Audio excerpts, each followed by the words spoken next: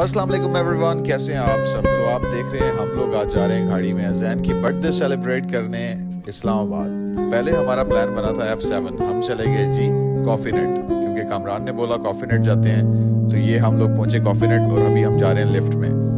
तो coffee net के बारे में कामरान के रिव्यूज़ तो बहुत अच्छे थे, लेकिन जहाँ तक हमारे रिव्यूज़ रहे, वो अब आके आपको हम बताते हैं कि हमारे रिव्यूज़ कैसे रहे। ये जो है, कॉफ़ी नेट जो है रिजॉर्ट है इस्लामाबाद एफ़ सेवन में।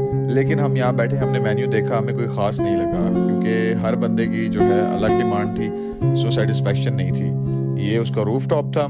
रूफ टॉप उसका जो था, वो हमें पसंद आया। लेकिन फिर भी जो हमारे दोस्त थे, अजैन साहब, उनको जो था कॉफ़ी नेट बिल्कुल नहीं पसंद आया।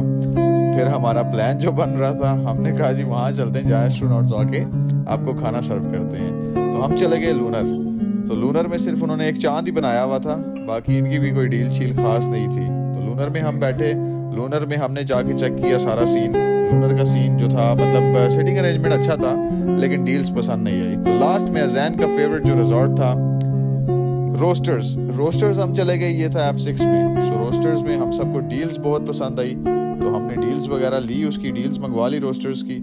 वहाँ पे हमने खूब इंजॉय किया। ये थोड़े से हमने क्लिक्स ले लिए थे इसके। तो फाइनली जो है, हमारा डन हुआ खाने का सीन रोस्टर्स में। सारों ने अपने अपने जो है पसंद की चीज़ें मंगवा ली।